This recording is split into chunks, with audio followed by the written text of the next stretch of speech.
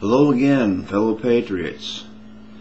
The battle against corruption in Washington, D.C. continues.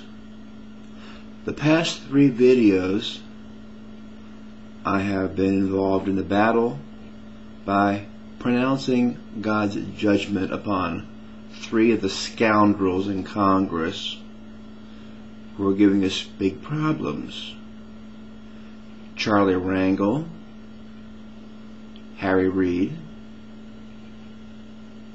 and Nancy Pelosi. If you are watching the news, uh, you can see that uh, things are happening. Not as fast as I would like, but things are happening. Today, I changed gears just a little bit. There are two sides of God's reactions to and upon people.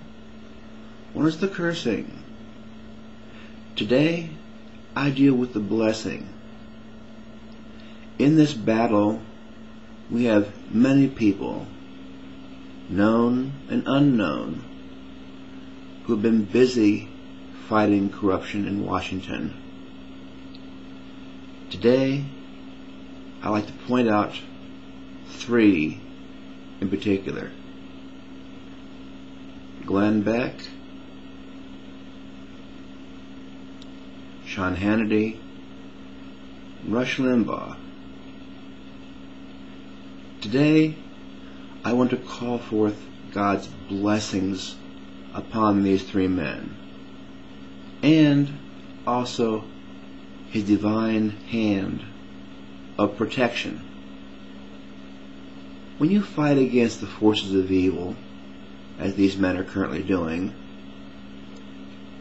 you deal with situations that are unpleasant.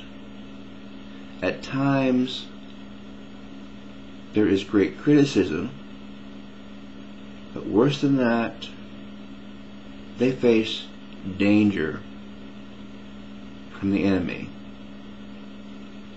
That's why today I've decided I need to again call forth God's blessing and protection upon these men. Everyone keep up the good fight we will win in the end. God bless America.